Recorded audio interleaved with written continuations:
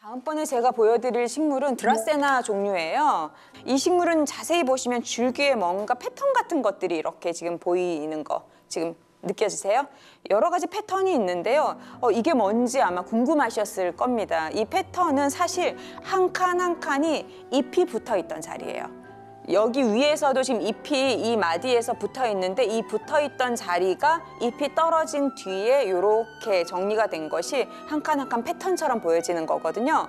어, 이런 경우 많으세요. 집에서 키우다 보니까 여기가 굉장히 지저분해져서 떼주고 싶기는 한데 어떻게 해야 될지 잘 모르겠어서 어떤 분들은 끝을 그냥 가위로만 자르시는 분들도 있으시고 또 어떤 분들은 어, 떼지 않고 그냥 그 상태로 방치를 하시는 분도 있는데요. 보시고 적당한 정도, 눈으로 봤을 때 보기 싫지 않은 정도, 아, 이 정도는 있으면 예쁘겠다라고 하는 부분은 놔두시고 제가 살짝 내려놓을게요. 이렇게 떼주시면 네, 그 자리가 이렇게 네, 새로운 패턴이 생겨나고 줄기가 되는 거예요. 그런데 비슷한 식물 중에 하나 이렇게 할 수 없는 식물이 있습니다. 자, 같은 드라세나 종류이기는 한데요. 자, 지금 이 식물 같은 경우에는 제가 하나를 빼서 볼게요. 똑같이 토양에서 심어서 키우는 식물이기는 하지만 지금 쉽게 관리하기 위해서 물에다가 넣어서 수경으로 지금 키우고 있는 식물이에요. 뿌리가 있고 여기에도 지금 마디가 보이시죠? 이 마디마다 잎사귀들이 붙어 있던 자리인데요. 잎이 떨어지고 나면 이 자리가 이렇게 대나무처럼 하나하나 마디가 이렇게 생깁니다. 그래서 식물에 따라서 어, 이거는 금천죽이라고 부르기도 하고 또 다른 건 뭐 개운죽이라고 부르는 것도 있고 하는데 이 드라세나 중에서 이 뒤에 죽자를 많이 붙여서 쓰는 이유가 바로 이 마디 때문이에요. 마치 대나무처럼 보이기 때문이죠. 자, 그런데 한번 보시면 어떠세요? 잎사귀들이 이렇게 위로 쭉 자라요. 지금까진 별로 문제가 없는데 이렇게 쭉 너무 많이 자라게 되면 밑에 잎사귀도 약간 누렇게 보기 싫어질 것이고 그리고 이 부분도 좀 왠지 답답하게 보여져서 좀 깨끗하게 정리를 해서 키우고 싶단 말이에요. 아까 이 마지나타하고 비슷한 케이스입니다.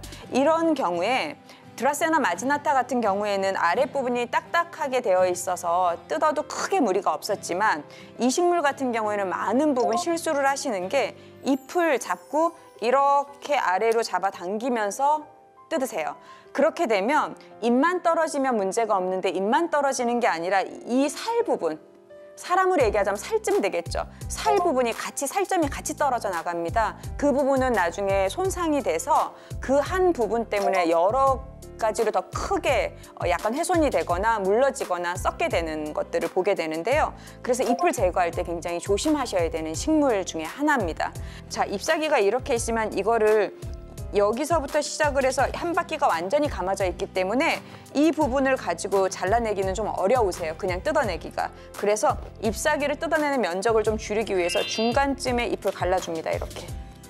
갈라서 자 제가 밑으로도 쭉 내려가면 자 보이시죠? 이렇게 내려간 다음에 역시 아래로 쭉 잡아 당기는 게 아니라 이 부분만 잘라질 수 있도록 제가 옆으로 이렇게 당길 거예요. 그러면 여, 이쪽 부분에 있는 줄기는 손상이 전혀 없이 잎만 깨끗하게 딱 떨어지는 거 보이시죠? 자, 훨씬 깨끗하게 떨어지죠. 이런 식으로 하나하나 하나 떨어지게 되는데 여기 있는 브라운색은 이 잎보다 앞쪽에서 미리 잎사귀가 잘라져서 지금 완전히 건조된 상태예요. 이런 것들은 이미 완전히 건조가 됐기 때문에 그냥 이렇게 뜯어내도 크게 무리가 없습니다만 잎사귀가 이렇게 남아있는 경우에는 그 부분이 문제가 될 수 있다는 거 잊지 마시고요.